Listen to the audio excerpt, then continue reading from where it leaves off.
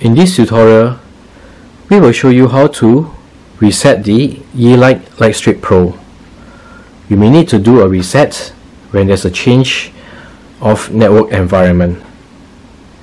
To do that, you need to press and hold onto the control button at the same time turn on the light strip and continue holding for 5 seconds until the LED turns red, green, blue and yellow. Then the light strip will be reset back to defaults. So let's do that. We'll plug in the adapter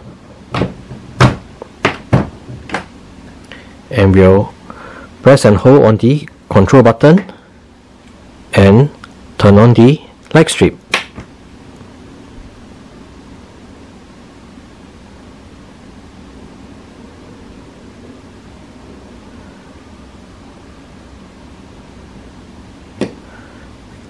There, the light strip is now reset back to factory defaults.